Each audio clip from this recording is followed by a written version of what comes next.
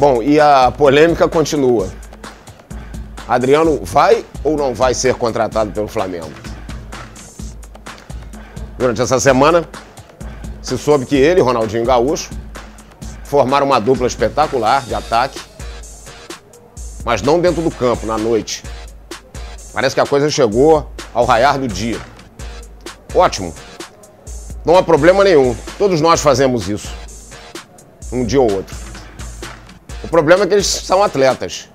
Um é efetivamente atleta, ainda está jogando, e o outro parece que pretende continuar sendo. Então a gente tem que separar. Se eles não quiserem mais jogar futebol, já que estão milionários, eles têm todo o direito de fazer o que eles quiserem, desde que não matem ninguém e paguem imposto de renda. Agora, se eles pretendem continuar jogando, recebendo salários muito altos e tendo responsabilidade e compromisso, eles têm que continuar levando vida de atleta. Existe uma diferença, só isso. Não tem nada demais é, você ficar na festa até o raiar do dia.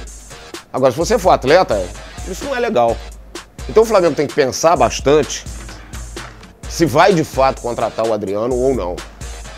Pensar muito, refletir muito sobre a sua trajetória. Se ele tiver fininho, sensacional. O Flamengo vai lucrar e muito, porque ele é um grande jogador. Agora, se ele vai continuar na farra, e ele tem todo o direito de fazer isso se ele não quiser mais jogar futebol, aí não vai dar certo. Mais uma vez, como não deu no Corinthians. Enfim, a polêmica vai continuar.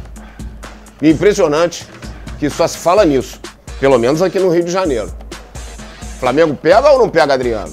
É a, é a pergunta que mais se ouve na rua. O povo parece que fica enfeitiçado por essa história e vou dizer para vocês, as opiniões são divididas, principalmente entre os rubro-negros. Muitos querem, outros muitos não querem. Eu acho que está quase dividido, pelo menos pelo que eu ouço na rua. E o que nós temos que fazer é aguardar para ver até onde vai essa história. Se ele tiver fininho, sensacional. Se não estiver, se continuar gordo, não vai dar pé não. Como não deu no Corinthians.